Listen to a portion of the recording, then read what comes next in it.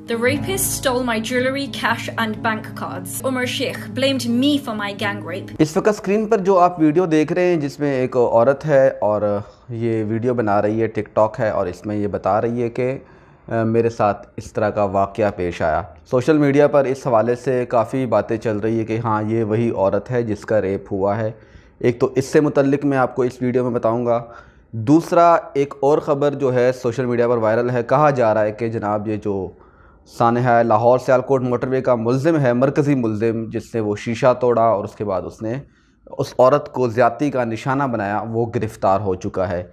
इन दोनों बातों के हवाले से काफ़ी कन्फ्यूज़न है। इस वीडियो में वो तमाम कन्फ्यूज़न दूर करने की कोशिश करूँगा।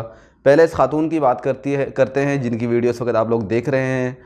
इनका नाम है अनम इकबाल और ये एक टिकटॉक स्टार है। इन्होंने इजहार हमदर्दी के लिए उस खातून के साथ अब इजहार हमदर्दी के लिए, एक मैसेज देने के लिए, गवर्नमेंट पर तनकीद करने के लिए मुआरे पर तनकीद करने के लिए ये वीडियो टिकटॉक पर डाली है और ये बिल्कुल भी वो खातून नहीं है क्योंकि जिनके साथ ये वाक़ हुआ है, उनका नाम है सना।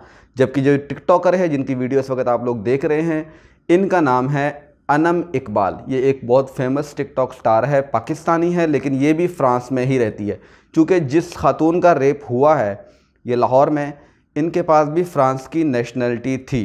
तो सबसे पहले ये बात मैं आपके सामने क्लियर कर चुका हूँ अब कि ये वो औरत नहीं है जिसके मतलब कहा जा रहा है कि जिनका रेप हुआ है। अच्छा इस वीडियो से मतलब कुछ लोग ये बातें नीचे कमेंट्स में कर रहे होते कि देखो, इसका होलिया देखो, इसके साथ तो ऐसे होना ही था और देखो, रेप होने के बाद भी ये कितनी कॉन्फिडेंट है और किस तरह से बात कर रही है। तो बजाय इन बातों में जानने के, सबसे पहली बात तो ये होगी कि ये वीडियो ही फेक है, ये औरत जो है कोई और है और जिसका रेप हुआ है, उसका नाम ही अलग है, उसका नाम है सना। वो तो अभी तक मीडिया पे सामने नहीं आ सकी। उसको अभी तक होश ही नहीं है। पुलिस भी जो कह रही है कि हम उनसे बयान नहीं ले सकते क्योंकि वो इस पोजीशन में नहीं है कि वो पुलिस को कोई बयान रिकॉर्ड करवा सके। ये बात अब क्लियर हो गई है। दूसरी बात, मुलजिम के हवाले से बात की जा रही है कि वो गिरफ़्तार हो चुका है या नहीं हुआ। पंजाब जो फ्रांसिक साइंस है एजेंसी उन्होंने कुछ रिकॉर्ड्स जमा किए हुए थे क्रिमिनल रिकॉर्ड्स जो डीएनए होते तो 2013 में एक क्राइम हुआ बहावल नगर में, जिसमें एक मुलजिम था। आबिद अली उसने एक माँ और बेटी को अब उसके शोहर के सामने बाँध कर उनका रेप किया और वो मुलजिम बाद में गिरफ़्तार हुआ। गिरफ़्तार होने के बाद उसके बाद रिहाई भी हो गई थी। उस मुलजिम का नाम आबिद अली बताया गया और बहावल नगर का ही ये वाक़ था और इस मुलजिम का डीएनए लिया गया था। तो अब जो ये गाड़ी यहाँ पर इस खातून की लाहौर मोटरवे पर, सियालकोट मोटरवे पर रोकी थी और गाड़ी का शीशा तोड़ा गया। तो वहाँ पर आप देख सकते हैं कि खून का एक सैंपल मौजूद था। ये सैंपल और जो पंजाब फ्रांसिक साइंस एजेंसी उनके पास रिकॉर्ड पड़ा हुआ है, इन दोनों सैंपल्स को मैच करने के बाद पता चला कि ये वही मुलजिम था, रिकॉर्ड याफ्ता मुलजिम है। क्योंकि इससे पहले अगर आप जैनब मर्डर केस देखते हैं, कसूर वाला वाक़ तो वहाँ पर सैकड़ों बल्कि पंद्रह सोलह सौ लोगों का डीएनए किया गया, जिस पर गवर्नमेंट का भी बहुत ज़्यादा खर्चा आया, बहुत ज़्यादा टाइम भी लगा। तो उसके बाद पता चला कि असल मुलजिम कौन है। इस दफ़ा, जो है, एजेंसियों ने यह हमत अमली तैयार की है कि जनाब, उन्होंने जो रिकॉर्ड याफ्ता मुलजमान है, सबसे पहले उनके साथ डी एन ए मैच करवाया और अब तक इतलात के मुताबिक ये मुबैना इतला है, कोई कन्फर्म इतला है, नहीं है कि आबिद अली जो है, उसकी शनाख्त हो चुकी है। इस हवाले से शहबाज गिल साहब ने भी ट्वीट की है कि इन बहुत जल्द एक अच्छी खबर आने वाली है और और ये भी अब कहा जा रहा है, कुछ मीडिया हाउसेज ने, समा न्यूज़ ने खबर दी है कि मुलजिम जो है वो गिरफ़्तार हो चुका है। एयर वाई भी ये कह रहा है कल रात से कि मुलजिम गिरफ़्तार हो चुका है। अब क्योंकि, और आईजी पंजाब की जानब से ये बयान आया कि इस इस प्रोसेस में अभी तक कोई इस तरह गिरफ़्तारी वगैरह कोई अमल में नहीं लाई जा सकी। बहरहाल ये आईजी पंजाब भी कह रहे हैं कि अब मुलजमान के करीब पहुँच चुके हैं और उनको जल्द अज जल्द गिरफ़्तार करके मीडिया के सामने पेश किया जाएगा। चूँकि मीडिया के सोर्सेज होते हैं और समा के जिस रिपोर्टर ने ये खबर दी है, नईम अशरफ भट्ट, एक बहुत बड़े रिपोर्टर है इन्वेस्टिगेटिव रिपोर्टर है, और उन्होंने ये खबर दी तो ज़ाहिर है इस खबर में कोई जान, कोई वज़न तो होगी। ये बात अलग है कि मीडिया जो है रेटिंग के लिए एक दूसरे से आगे बढ़ने के लिए इस केस में कुछ भी कर सकता है। उस पर कोई शक नहीं है मुझे। सोशल मीडिया भी कुछ भी कर सकता है इस केस के लिए। मे भी ये खातून को अब जोड़ दे थंबनेल में बना दे कि ये खातून वही है, ऐसा हुआ, उसके साथ वैसा हुआ, कोई भी कहानी छोड़ देंगे। तो अभी तक मुबैना इतलात ये है कि मुलजिम जो है, इसकी आइडेंटिफिकेशन हो चुकी है, इसकी शनाख्त हो चुकी है। आबिद अली इनका नाम है 2013 में इनका एक केस हुआ था।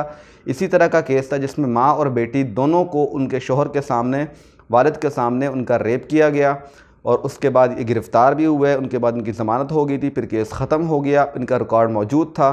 वो रिकॉर्ड और इस केस के अंदर जो खून के सैंपल्स मौजूद थे, इन दोनों का रिकॉर्ड मैच करके मुलजिम की शनाख्त हो गई है और मुलजिम अभी तक पंजाब पुलिस के मुताबिक गिरफ़्तार नहीं हुआ, लेकिन मीडिया के मुताबिक गिरफ़्तार हो चुका है। और शहबाज गिल साहब, जो वज़ी अजम के तर्जुमान हैं, उन्होंने भी ये कहा है कि बहुत जल्द अच्छी खबर आने वाली है। तो इन जिस तरह से ये ख़बरें वायरल हो रही है तो मुझे भी अब थोड़ा बहुत यकीन होना शुरू हो चुका है कि इन ये मुलजिम जो है, गिरफ्त में है और गिरफ़्तार है। कुछ ज़ाहिर सी बात इन्वेस्टिगेशन करेंगे और दूसरा जो मुलजिम है, उसको भी वहाँ से पकड़ा जाएगा। दोनों को इकट्ठे पकड़ के फिर मीडिया के सामने पेश किया जाएगा। उसके बाद उम्मीद है कि इस केस का इन जल्द अज जल्द अदालतें ट्रायल करेंगे उसके बाद जो भी कानूनी फ़ैसला होगा, वो हमें एक्सेप्ट करना होगा। अच्छा इस केस में अब मुस्लिम लीग नून के राना सनाउल्ला साहब जो बहुत ज़बरदस्त किस्म का बयान दे दिया। केस क्या चल रहा है? खातून के जो साथ जो हुआ है, आप सब लोगों को पता है। वो केस चल रहा है। इसमें कह रहे हैं कि C C P O Lahore Umar Sheikh जिन्होंने कुछ आ, केस के पहले रोज़ एक मतनाज़ा किस्म का बयान दिया औरतों के हवाले से कि इस औरत को रात को अकेले नहीं निकलना चाहिए था। ठीक है इस हवाले से बयान दिया काफ़ी उनके ऊपर तनकीद चली। तो राना सनाउल्ला साहब कह रहे हैं कि सी सी पी ओ जो है उनको लाया गया है ताकि बलदियाती इलेक्शन में उनको इस्तेमाल किया जा सके।